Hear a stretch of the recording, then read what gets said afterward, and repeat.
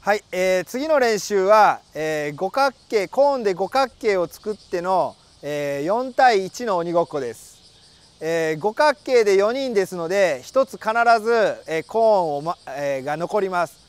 そのコーンに鬼がタッチすれば、えー、交代になります、えー、みんなで協力をして4人の選手がみんなで協力をして、えー、そのコーンを、えー、守るようにします。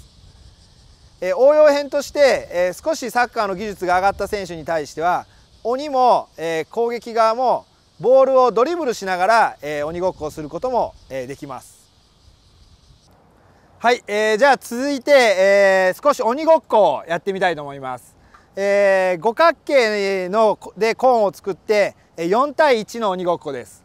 えー、一つへ、えー、一つまコーンにあ1人ずつ立ってそうすると1本コーンが残りますのでえー、そこに鬼がタッチできれば鬼が交代という形になります。みんなで協力してそのコーンを順番に埋めていくという練習です。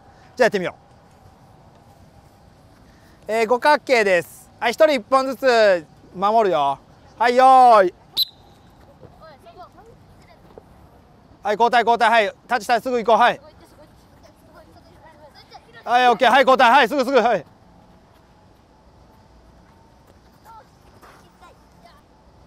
みんなで協力してよはい。協力してよはい。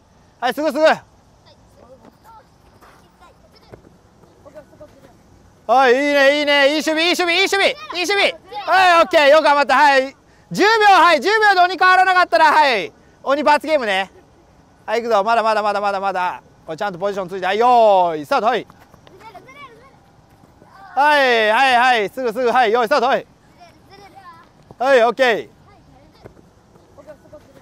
はいスタートはい太一動き俺太一動けはいはいはいはいどうするどうするどうするどうするどうする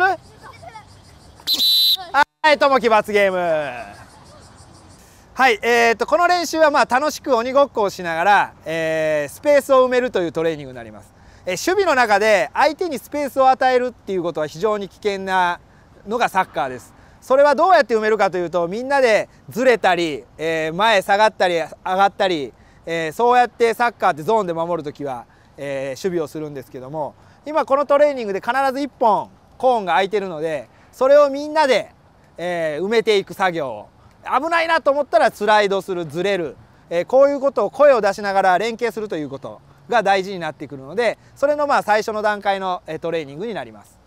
え結構楽しく、えトレーニングできるのでまあ、各チーム簡単ですので、えー、おすすめの練習になります。はい、えー、少し技術が上がった選手たちですと、えー、今の練習をボールを使ってドリブルをしながら、えー、やることもできます。じゃあやってみようか。はいよーい。はいドリブルはいボール足から離さないぞ。はい顔上げながらドリブルしてはい。はいはいともきまた頑張って罰ゲームする。オッケーナイスドリブル。はい交代交代。ちゃんと渡してあげて。まだやぞまだやぞ。コーン倒れてるからね。はい用意スタート。はい。おいうまいうまい。ナイスドリブル。はい交代して。はい用意スタート。はい。